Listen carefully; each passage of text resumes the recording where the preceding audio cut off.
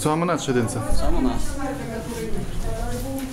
Pe dumneata te-a lăsat să asiști să filmezi, dar pe mine m-a dat afară. Asta e discriminare. Eu n-am filmat și A, dar de se ce mai poate venit dacă nu se puteai poate. filma? În timpul când tu ai filmat. Tu nu te-ai supus ordinilor judecători. Cum nu m-am spus să iau te aici observat- afară? Ați observat foarte bine că Ați domnul provocat, Sergiu domnul Breda. s-a, s-a sculat de pe scaun și a venit și el personal, a închis.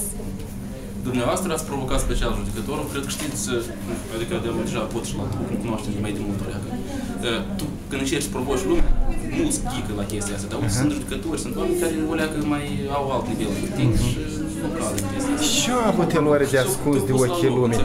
E că eu mi-am cerut voie să filmez și de ce nu mi-a permis? Înseamnă că are ceva de ascuns.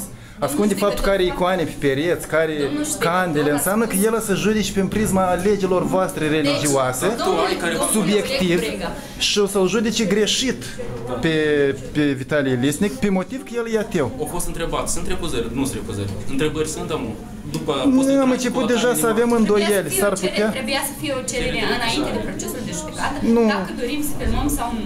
Noi Cerere de recuzare se poate înainta oricând, chiar și înainte de pronunțare, așa că S-a impus, deci trebuia dumneavoastră, domnul Briega, să vă supuneți ordinul și așa ați fost dat afară. Tare normal ați fost dat afară. nu- Ce, de ce nu la religioși le place când intervine dictatura. De ce sistem? Ceva are de ascuns. Dar bine, măcar de data asta n-avea afișate icoane și candele. Am văzut video tău.